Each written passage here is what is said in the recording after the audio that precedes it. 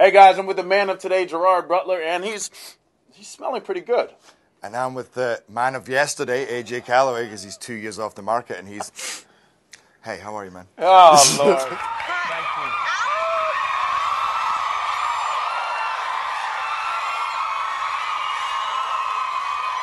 Nice. I'll take it. Yeah, yeah. I'll take it.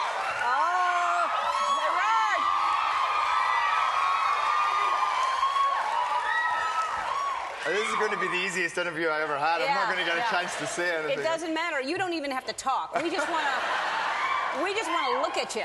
Clooney is off the list now. He was the most eligible bachelor. So now I, I'm I'm putting you in his spot. Okay. You ready to fill those shoes, or Yeah. you gonna jump? oh, You're gonna jump away like Clooney? We'll, we'll see. I mean, I, I, I'll take that title right now, but I, I'm actually seeing somebody right now. But but we're not married. Okay. You know, so I don't know. Does that still make me a bachelor? You're still a bachelor. Okay, so I'm still a bachelor. Yes, very much so. Yeah. And you've been going with the flow. You're now chilling. You're in Malibu. You're in the mountains. You're surfing. Gerard or Jerry?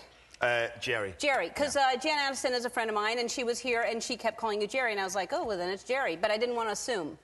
No, I know. I- It's people still call me uh, Gerard or Gerard, and it always sounds a little weird. Uh-huh. Just my, that was uh, kind of the property of my mother. Right. So whenever I hear that, I'm always a little bit Like, like, you're in thinking- trouble, Yeah, right? I'm in trouble. Gerard? Yeah. Yeah. Exactly. All right. Um, Is that how you keep the the physique by doing all that? Yeah, uh, to, to, to what physique fit? Yeah, What yeah. is- No, I do. Yeah, no, no, wait, wait. It's hard. It's hard. all right, um, Jerry. Uh, so I saw you at the Oscars. You looked very, very handsome. And was that your first time at the Oscars? First time, yeah. Yeah? I'd um, a couple of times at the Golden Globes and other. Bradley um, Cooper, look at that.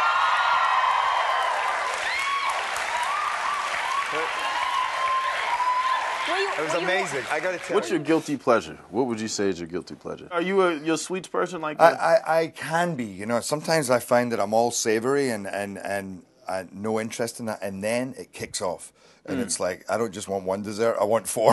I'm like, is that bread and butter pudding? Oh, I love bread. Is that spicy? What is that? What is? I got to tell Were you. you nervous or were you?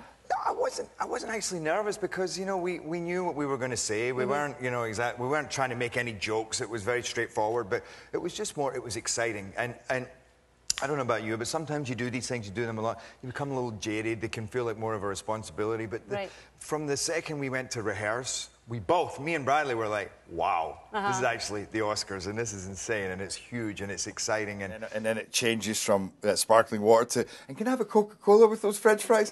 And uh, we got a double cheeseburger, and uh, and then just bring those four desserts. And I like to, as, as a friend of mine always says, "That's enough now, Piggy," which is a slightly amended line from Babe, Babe the movie. That's enough now, Piggy. I'm like, oh, what are you talking about? It's fine. Uh, You know, and then you're right down there at the front, and I've you know Quentin Tarantino behind me, Helen Mirren, Steve Carell. And uh, is it? it tr- I just I heard you just got back from Brazil and India and Iceland. Is it, did you go to Iceland? Well, I've been to Iceland a few times. Um, I made a movie. I made a Viking movie in Iceland Right. a few years ago, and I became hooked on the place. I mean, to me, it's I- Iceland and Scotland are my two favorite places to be on It the seems planet. beautiful. It's, Congratulations. How does it feel being the global? I can't even talk now, Jay. Let's try that again. The global ambassador for for for Hugo Boss.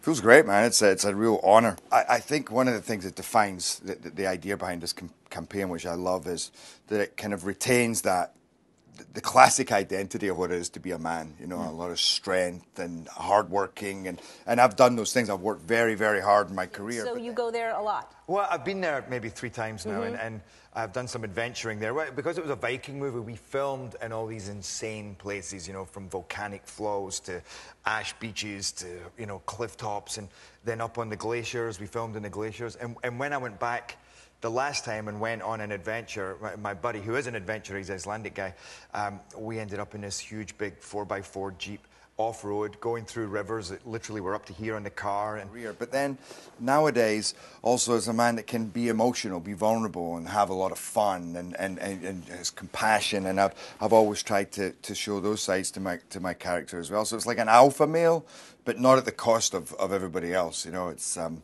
a nice kind of blend.